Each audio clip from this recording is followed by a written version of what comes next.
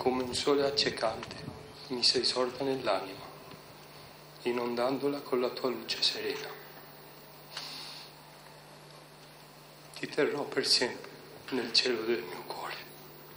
Amici, parenti, semplici cittadini, ai funerali in piazza San Marco non solo Venezia e tutto il Veneto, ma l'intera nazione si è stretta attorno alla famiglia di Valeria Solesin, la ricercatrice rimasta uccisa durante gli attentati di Parigi del 13 novembre. Tra i presenti il Presidente della Repubblica Sergio Mattarella, il Ministro della Difesa Pinotti, il Governatore Luca Zaia e il Sindaco di Venezia Luigi Brugnaro, in una cerimonia che ha unito anche le religioni.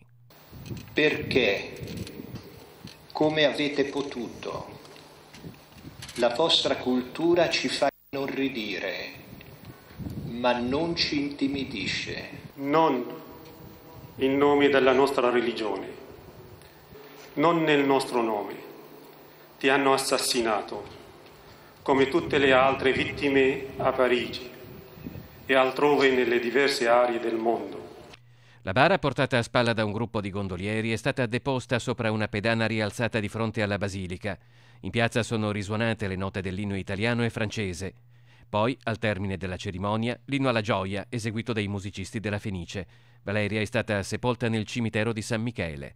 Mi è capitato di sentire parole tali, quasi che noi potessimo significare un esempio per molti.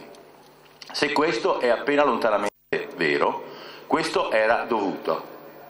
È dedicato a tutte le Valerie e Andrea che lavorano, studiano, soffrono e non si arrendono.